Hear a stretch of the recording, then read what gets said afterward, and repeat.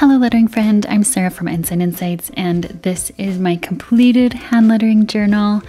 I am so excited to share this with you. This is my Archer and Olive journal. I have been loving it. Really quick side note, I decided I needed to decorate this front page. So while I'm doing that, I just want to explain what a hand lettering journal is and why you might want to start one for yourself. There are all different types of journals. This could be called a creative journal, an art journal, a junk journal. Some people have a bullet journal that have pages like mine. A hand lettering journal is basically just a notebook filled with my hand lettering. I found that of all the different types of journaling, a hand lettering journal works best for me because it's a way for me to build a creative practice with my hand lettering. It's a great way to see my progress and kind of hold my creativity inside a little book. I get so inspired looking back through my journal like it's my own personal Pinterest. And at the end of the day, I want to hand letter. I want to express myself. I want to be creative. I want to work through strong emotions, whether they're good or bad. I want to use up my pens and my craft stash that I've hoarded over the years. I want to experiment with colors. I want to try new things. A hand lettering journal checks off all of those boxes. And most importantly, hand lettering helps me deal with my life and show up as the best version of me. A hand lettering journal is a tangible way to do that. So, if that sounds good to you, join me in starting your own hand lettering journal and let this video be a good inspiration to start. Let's get into it. So, the first page I always leave blank in a journal, and I just added these pictures I cut out of a random journal I did in 2019. So I leave it blank because it's really daunting to start a page, and so I added that in later. And same with this one. This was the first I was testing it out. I added some paper, and then these quotes also from 2020 when I first got this. This one had a different design in the back and I painted over it with some acrylic paint. And I really love this look. I love that I can actually paint a page in the Archer and Olive journal. And then this is with my dot markers. And then I was just experimenting with more acrylic paint and more dot markers. You know, I feel like starting a journal always takes a few pages to get into it and get a feel for the new journal. You're really good at doing scary things, doing that quote over again. You have so much good coming for you. I was testing out some pens. These are the good old days. And then here is when December 26th, 2021, this is when I really started using this book. This was just random things before. And so I was reading this book, The Creative Cure, and I had so many good quotes from it. Please stop waiting for an invitation to be yourself rediscover the joy of creating and begin to fall in love with life again. Every human being is creative, again, from that book, The Creative Cure. I highly recommend that book. Same. I am creative, I am an artist, I am creating my life. I was playing around with different Google fonts. And then this one, when I watched Encanto and I loved it, The Miracle is You with some butterflies. And then for January, I wanted to try doing this little cutout that I had seen. So I set it all up. It took me forever. I loved this border that I made.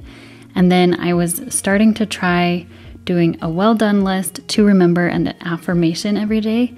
And then I realized that I didn't want to be writing it in this book every day. And so I started doing it on my Notion.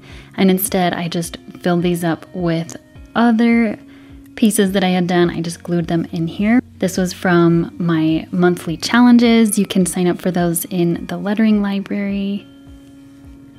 For these, I'm using the Zebra Mildliner brush pens. I love these colors and the brush pens, they're amazing. And this one was really fun to make, it took me a long time.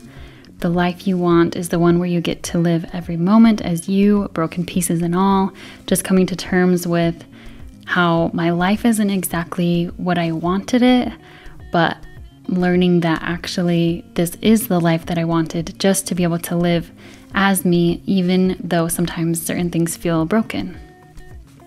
These quotes again are from The Creative Cure. The truth is that the most creative thing you'll ever do is become yourself. Comparison has no place in the particular art form of being you. And then this one was a really random page, just writing things out. I was having so many thoughts as I was reading The Creative Cure. So, looks different from my regular. And then here's the alphabet. Once again, from that book, creativity is the act of turning imagination into reality. And then I was testing out the calligraph pens from Archer and Olive. And here, prioritize life over social media. This was that I thought that I had, and then I did it full later, it'll come. The quote. And these are also from The Creative Cure. You are an artist, and your life is your unfolding, ever changing masterpiece. Creative practices heal us in ways that nothing else can. And then here was an idea that I had just to list out some things. And I made a video about this with my Instagram detox. So I made a list of things that I had learned and I had written out a bunch of things while I was doing my 30 days away from Instagram. And what's crazy, so it is August right now, and I haven't been on Instagram since like March. it's really crazy. Uh, and then five things I do love about Instagram because there really are amazing things about Instagram. It's just I have to pick and choose if I can handle the hard things about it to be able to get the good things. And then here was that page let's prioritize life over social media. That is what I've been trying to do. I still want to share my lettering with you.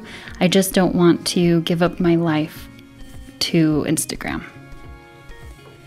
And then here, I just wanted to fill the page with color, and it's from the book again, The Creative Cure.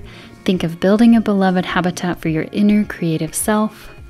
And then this was a page that I had painted years ago, actually, with just some gold paint. And I thought one day I'm going to use it, and then I just never have.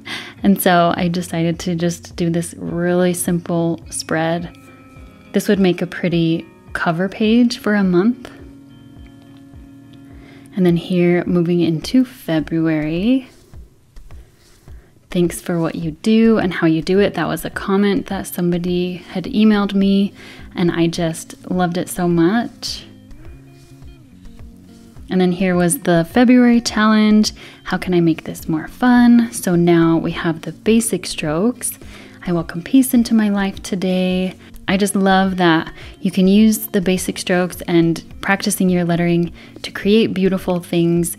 You don't have to be an expert, you can be practicing and creating beautiful things at the same time.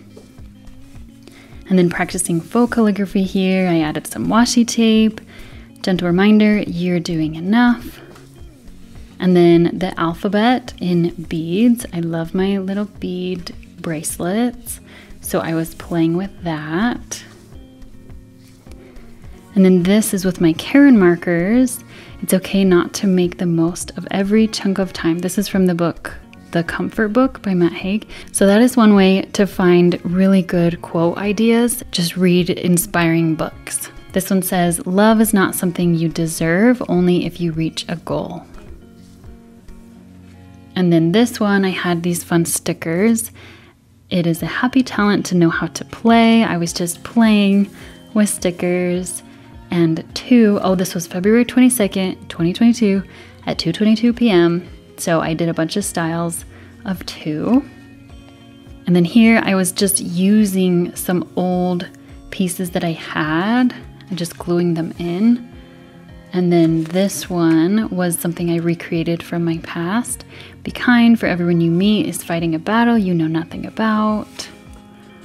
And this, I was using my stencil that I have. Here I used the stencil for March.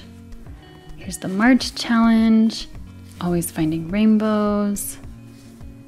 And then this was my thoughts on burnout. Today, I'm sad for all that burnout took from me. Also, burnout helped me find my voice that needed to be heard. So, 2021, I went through extreme burnout. And coming out of that, you realize that it's something that changes you forever. And I feel like I lost so much time of things that I wanted to create and things that I just wanted to love about myself, but burnout uh, took them from me. And at the same time, because I went through that burnout, it helped me to take care of myself better. It helped me to find my handlettering journal, helped me to find a voice that uh, needed to be heard. And then here were little printables that I created, and they are in the lettering library. You can print them out. I just liked having something to fill in. Here is some new washi tape that I bought from Archer and Olive, and it's so pretty. And then here, Slow and Steady Wins the Race. This is doing blocks. And this was the last page that I had to fill in. I know it's not the last page of my journal, but I last week I posted this video and I did a tutorial for every one of these. So if that sounds fun to you, definitely check out that video. This was another one where I was making a list, seven ways to find quotes for your journal. And then this one was a quote for Archer and Olive Success is liking what you do. Colors are the smiles of nature. This was a really sweet card that I got from Susan. She is in my Intentional Lettering for Beginners course, and I just have enjoyed so much getting to know the people there and seeing all of their lettering. And she sent me some pins, and it was the best. So I had to include this in my journal. And then this one, today I'm feeling too much to handle. Sometimes I just letter whatever I'm feeling because I have a lot of emotions. And this one, loving ourselves works miracles in our lives. Oh, this one is so much fun. Finding rainbows with, I did watercolor, rainbow stripes, and then these are little fruit pieces that I found at Michael's, like near the glitter. And I just think they are the cutest. And then this one, I was experimenting doing collages. So I had some stickers, I had an envelope and a card, and I cut them up and placed them however. Oh, and here's a little fortune cookie. And then this one, this is something I had printed out a long time ago, and I finally glued it in. And then this one, when you release expectations, you are free to enjoy things for what they are instead of what you think they should be. I painted it with acrylic paint. And then this is when I started doing my mini journals. So when you're worried, read this. What's yours will find you. Let it go. Let life happen. You only need to take the next step.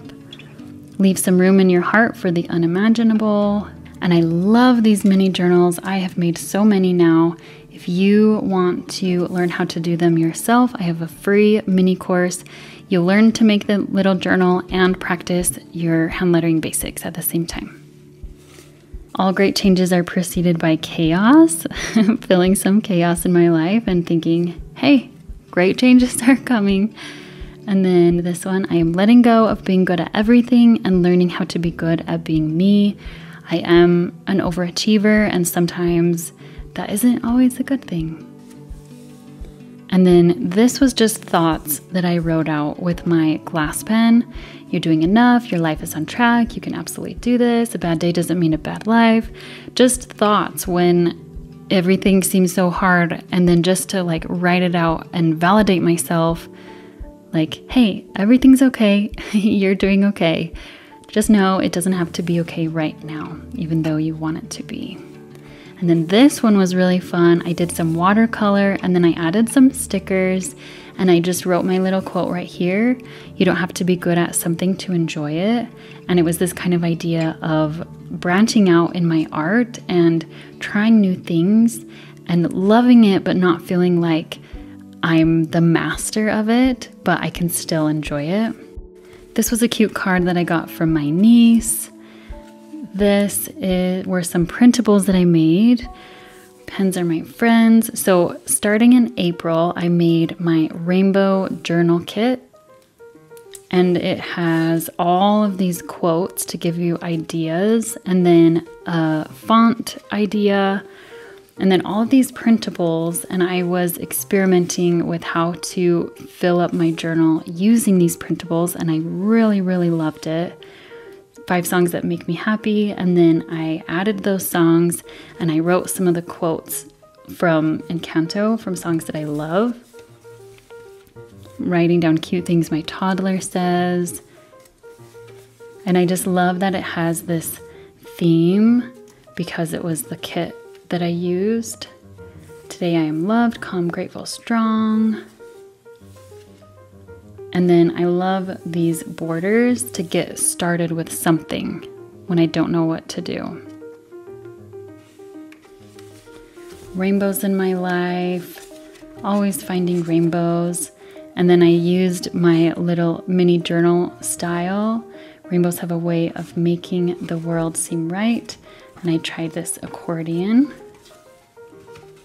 Count your rainbows, not your thunderstorms. The brightest rainbows come after the darkest storms. You are a rainbow of possibility. Your true colors are beautiful like a rainbow. So, the whole theme of this month was rainbows. There may be a rainbow waiting for you.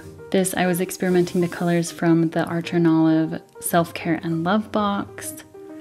And then these little sticky notes that were in my kit, you get to choose, you are on the right path. And then this was a collage that I did. I have been really loving getting into collages again. You don't have to fit in a box.